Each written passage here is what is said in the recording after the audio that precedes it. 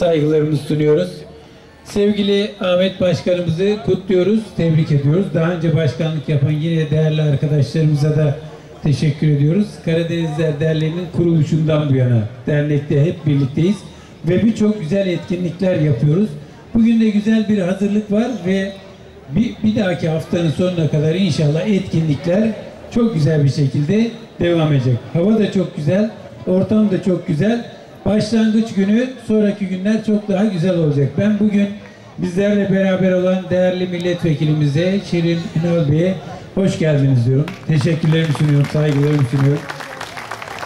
AK Parti ilçe başkanımız Mevlüt Öztekin Bey'e yine saygılarımı sunuyoruz. İlçe yöneticilerimize, sevgili muhtarlarımız aramızda, meclis üyesi arkadaşlarımız aramızda, sivil toplum kuruluşlarımızın başkanları, yöneticileri hep aramızda. Hepinize hoş geldiniz diyoruz. Esnaflarımıza, bu etkinliğe destek veren iş adamlarımıza herkese çok çok teşekkür ediyoruz.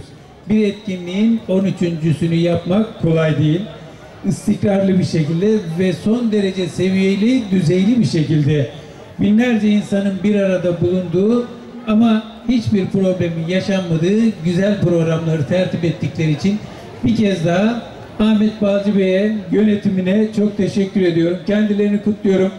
İyi eğlenceler diliyoruz sizlere. Saygılar sunuyoruz.